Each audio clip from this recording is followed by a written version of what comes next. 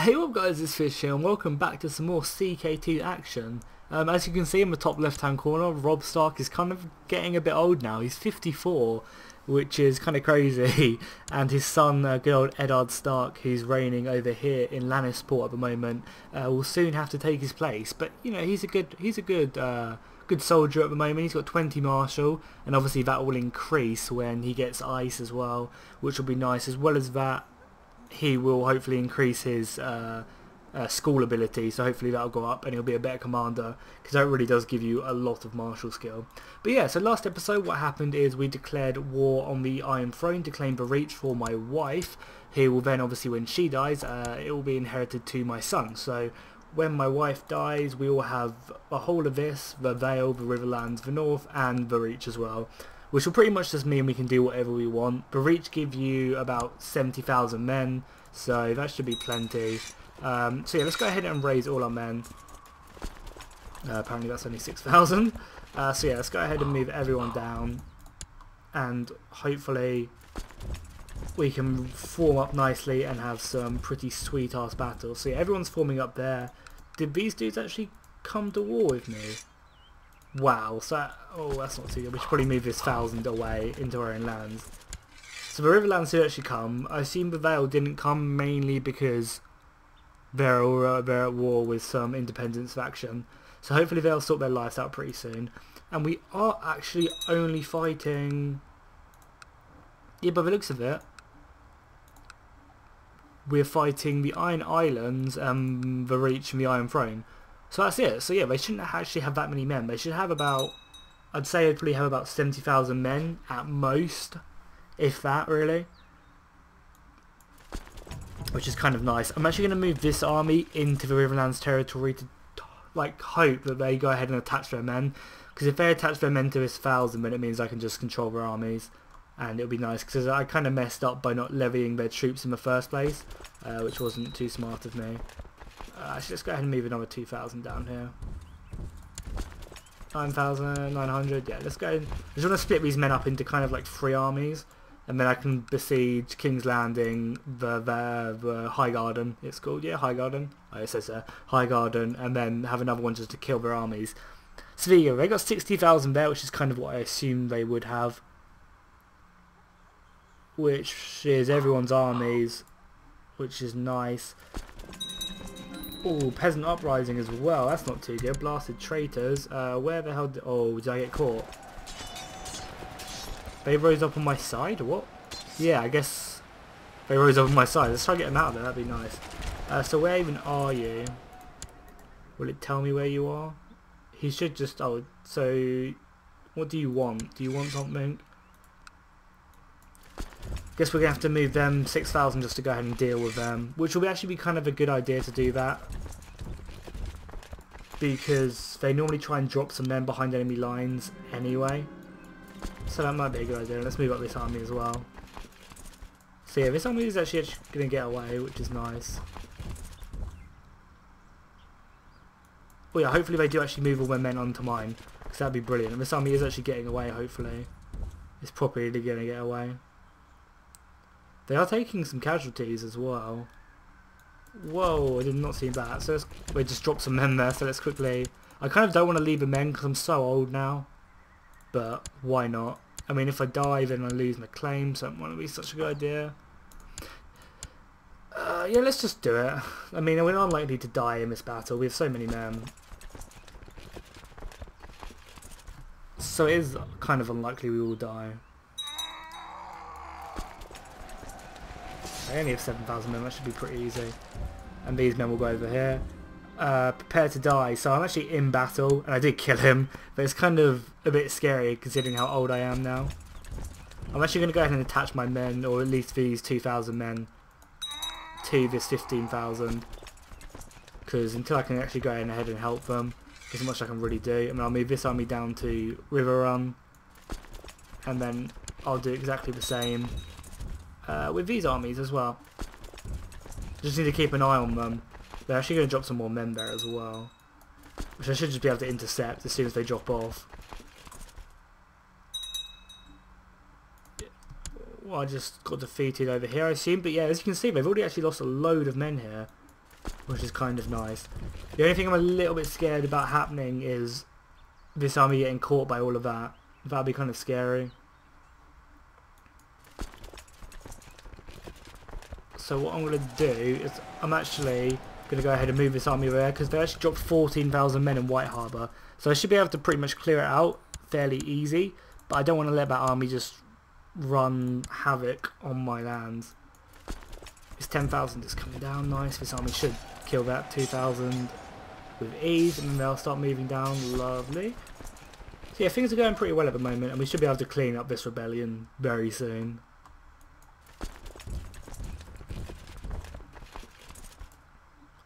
Keep on moving this army down. Why not? So yeah, they're going to go ahead and kill them. Is that actually a river crossing? It is a river crossing. We do outnumber them. We do have better leaders, I'm assuming. Uh, long live the king, or kind of a war with the king, so probably not the best thing. Uh, so yeah, let's go ahead and merge these dudes, and we'll, we can't link them apparently, for whatever reason. So yeah, the river's not really going to be too great for us, it's going to hurt us a little bit. Uh, we've got loads of claims on the crossing. We don't want, obviously don't want that. Any other interesting claims? Crown land claims, which we might actually be a good idea to do. Okay, so that's kind of scary. I'm going to have to move my men out of there because the Riverlands are kind of going to get caught there. Well, I can't really help them. I'm going to move my 10,000 to try and help, but I doubt that will do the job. And we've one up there in the north, which is nice. I'm actually, yeah, I'm going to leave it at 2 speed. Maybe try and get my 2,000 men out of there. The Riverlands will get caught right here. Yeah. And they won. They must have killed one of their commanders in battle or something, because you just saw that morale drop was crazy. That's insane. Uh, just seeing quickly, just checking everything. Yeah, it's all cool.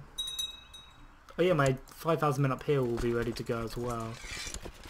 They are crossing a river, but Eddard will lead the men to kill the rebellion whilst I'm away. I cannot afford both, well, my son, all my sons to die. So we actually, oh, we just won that battle though, that was kind of close. Let's chase it down though. I'm still can't believe they managed to kill them there. Our 10,000 men can come in as well and support. I might as well change the commanders over here as well. Do we have a flanker who's not already in an army? Uh, not for some time, so that's cool. Uh, I just took a commander out of another army. I'm not quite sure where though. Centre of here, so that's probably a good idea. I went and had a look. The Karstarks have risen up as well to help me, so that's lovely. My 10,000 should get here by the time these two armies fight, but yeah, my army should get here. We're almost in uh, Pekdon. We're about to go through Pain Hall and then we're, yeah, we, as soon as we march in, that's another 16,000 killed. Hopefully the Riverlands can just hold off though. Yeah, we are losing Lannisport pretty heavily. But we are actually winning the battle overall because of just the amount of, well, the war overall, because just the amount of battles we are doing.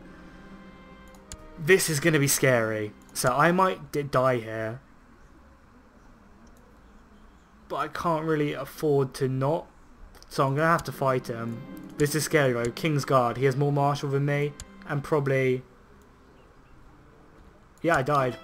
I knew I'd die. I thought that was I thought that was really risky to do. I should have probably taken the taken the penalty, but you know, oh well, we died. Need to get rid of this place as well.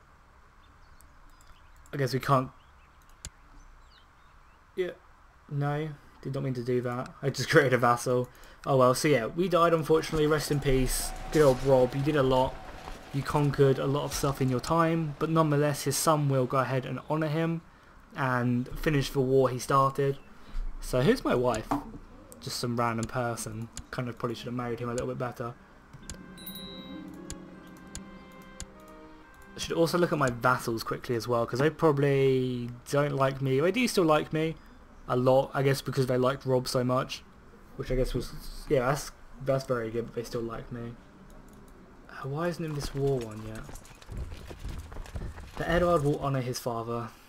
Don't you worry.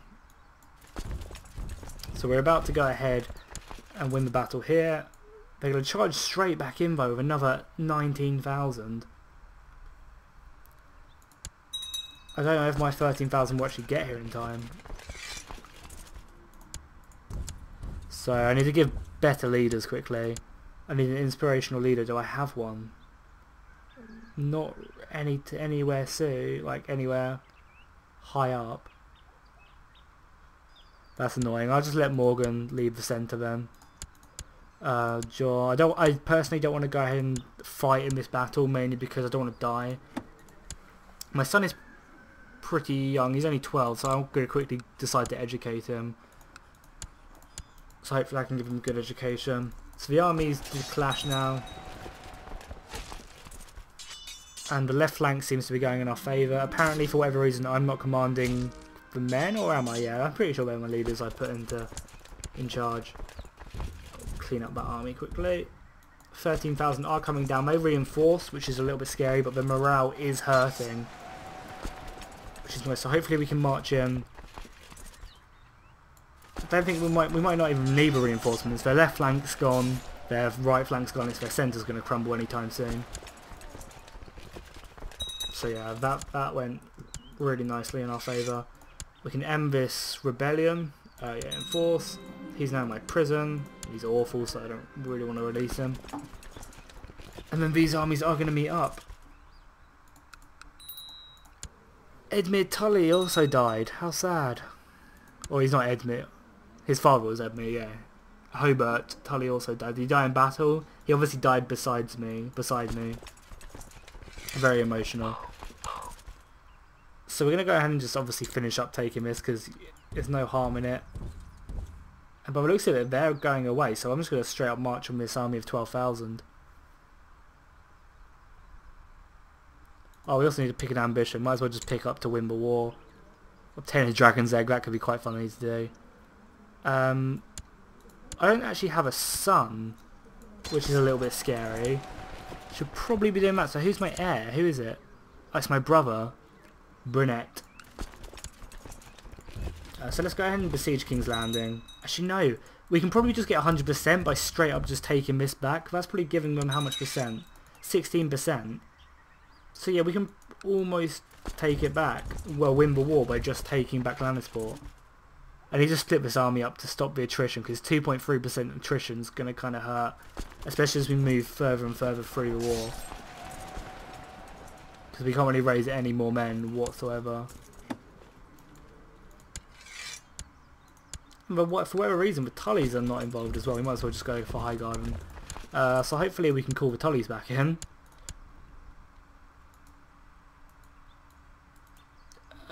Yeah, so hopefully the Tullys will come back in. We're going to march straight on Riverrun. I mean, Highgarden, I should say. Oh, they're defending against the Stormlands. They're trying to make a claim on it as well. So Riverlands should come for another couple thousand men. That will definitely help us out. We're now besieging it. Speed things up whilst we besiege.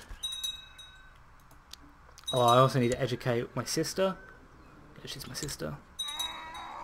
So let's go ahead and find someone nice. Oh, my mum can do that because her diplomacy skill is insane. 27. How quickly does she get a claim? 19% uh, a year, which is just mad.